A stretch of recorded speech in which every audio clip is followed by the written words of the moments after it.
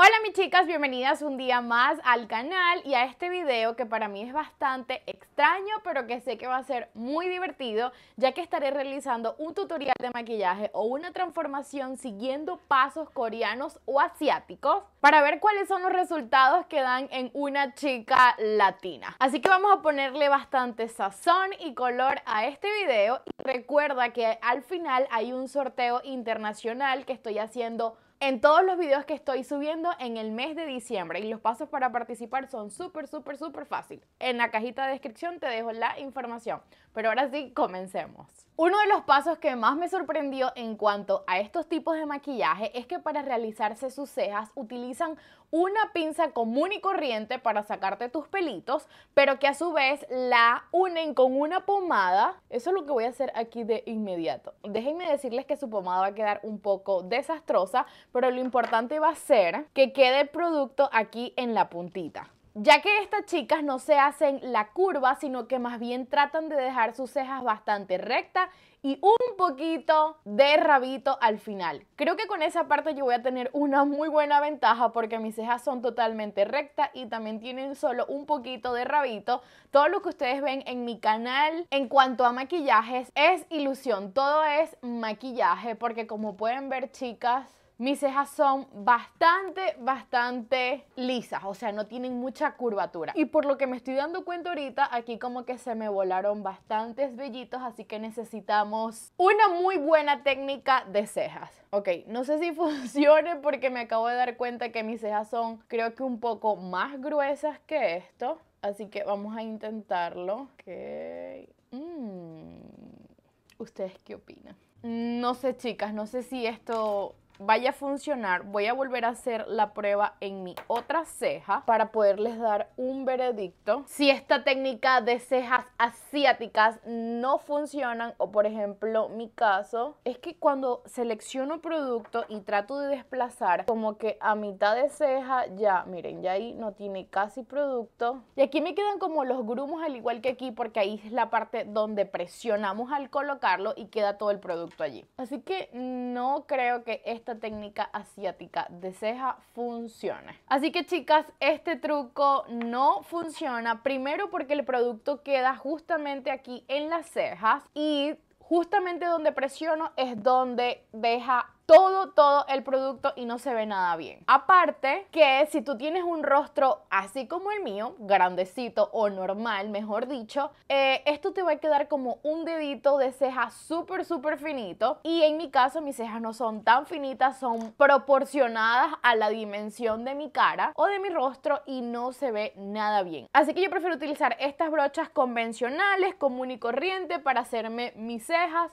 Siento que se va a ver mucho más natural, no una líneas súper marcadas y que también puedo lograr ese efecto. Porque evidentemente con esta pinza solamente realizarás los bordes, pero no rellenarás en absoluto la parte interior de tus cejas. Chicas, ya me había terminado de realizar este ojo y no me había dado cuenta que, de nuevo, este aparatico se quedó sin audio o sin pila, no sé qué fue lo que pasó, pero lo voy a realizar de este lado. Y lo que les comentaba es que voy a estar utilizando estos tipos de labiales para los ojos que en realidad, déjenme decirles que lo tienen que hacer muy muy rápido. Primero no creo que se puedan utilizar labiales de balitas porque saben que eso se mueve normalmente, así es que es preferible utilizar estos que son líquidos, pero tienen que trabajarlo súper rápido, no pueden aplicar en un ojo y después en el otro porque van a quedar todas parchadas o manchadas, mejor dicho. Así que lo que voy a hacer es aplicarlo justamente aquí y en la parte inferior.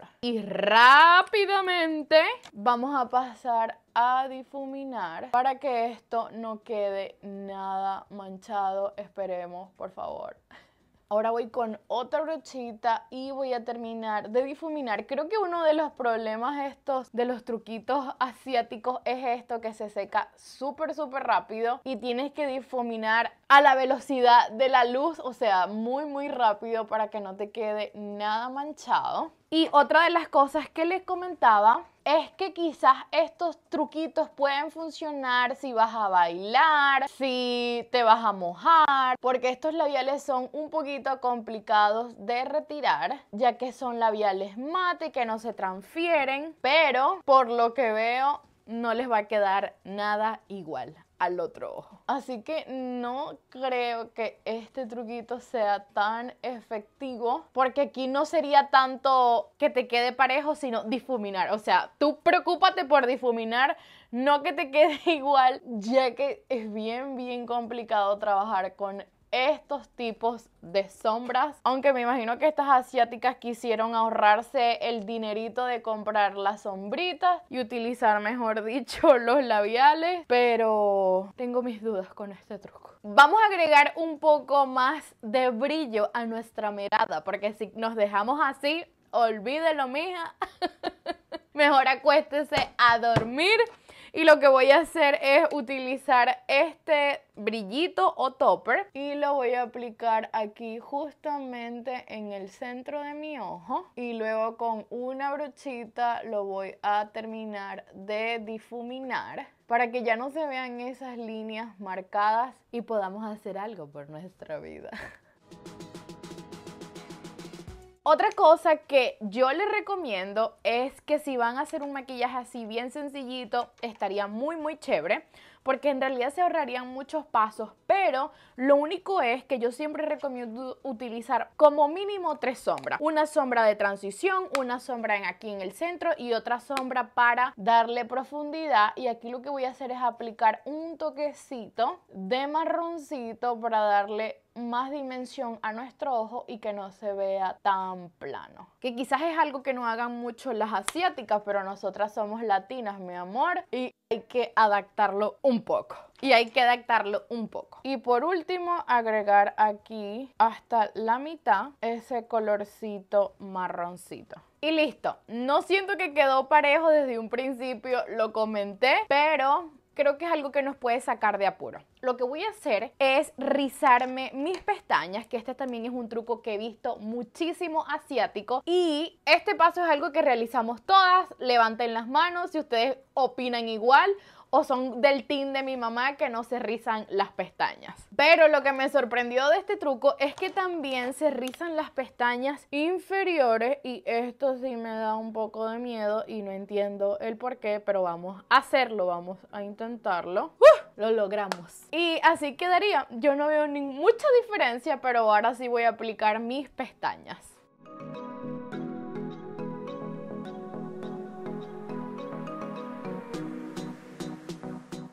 Estoy súper sorprendida de lejos de cómo se ve tan lindo este maquillaje. Pareciera que hubieses pasado horas realizándotelo y que aparte no se ve para nada los parches en los ojos, se ve bastante asimétrico. ¿Ustedes qué opinan? Yo la verdad quedé muy sorprendida, me gustó el resultado y que lo hice como en 3 o 4 minutos súper súper rápido a lo que me tardo comúnmente. Ahora, ahora lo que voy a hacer también es el truquito del famoso 3. Yo ahorita en estos momentos de hace 3 o 4 meses no lo hago, pero básicamente trata de hacerte un 3 así invertido y aparte que a estas chicas les encanta que esta área quede muy muy definida y los rasgos bien finitos. Así, así que después que tenemos ya nuestro 3, es momento de difuminarlo. Y no sé por qué este corrector no se quiere mover ni un poquitico. Y ahora lo voy a hacer rápidamente, pero en vez de hacer el 3, lo voy a ir aplicando y de una vez difuminando, chicas, para que no me quede tan marcado. Y ahora Vamos a peinarnos un poco para ya irnos dando el estilacho. Y ahora lo que voy a pasar a hacer es hacerme la nariz como de Mickey Mouse, que básicamente son dos líneas bien finitas que aquí abren un poco y aquí hacen así como especie de un triangulito. Y ya terminan de difuminar.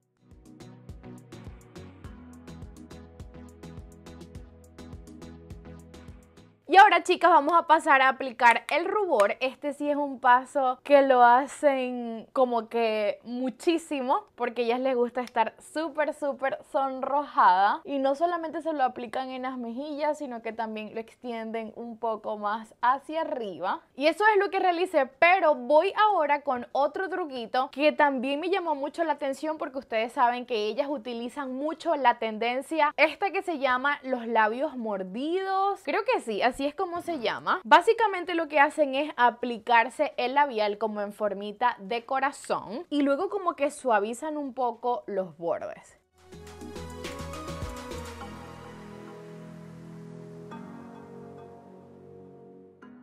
Y automáticamente, mis chicas, que se aplican el labial, se aplican corrector en todo el alrededor.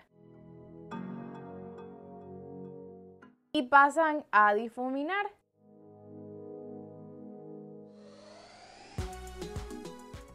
Y para que los labios según luzcan más sexy, aplicarse un toque de brillito.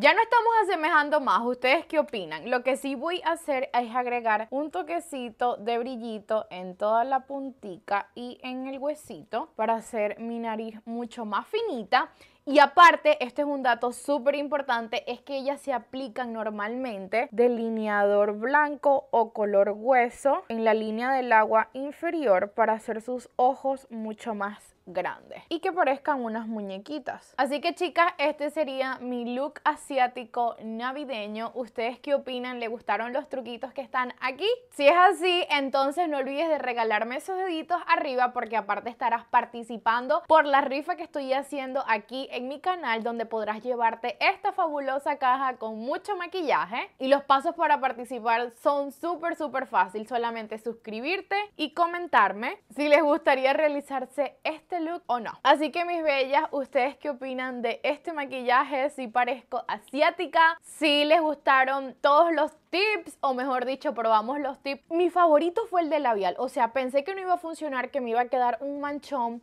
pero así de lejos, chicas, ni se nota. Y lo mejor de todo es que creo que le puedes dar mucha versatilidad utilizando labiales así más marroncito, más rosita, y puedes jugar con esos tipos de sombra invirtiendo nada más en un solo producto. Igual los labios sí creo que se ven sexy. ¿Ustedes qué opinan? Así que bueno, mis bellas, nos vemos en un próximo video. Recuerda que todos los martes, miércoles, jueves y viernes se sube video a este canal y los sábados a las 9 de la noche estamos haciendo en vivo. Así que un besote grandote y nos vemos en el próximo video. Chao, chao.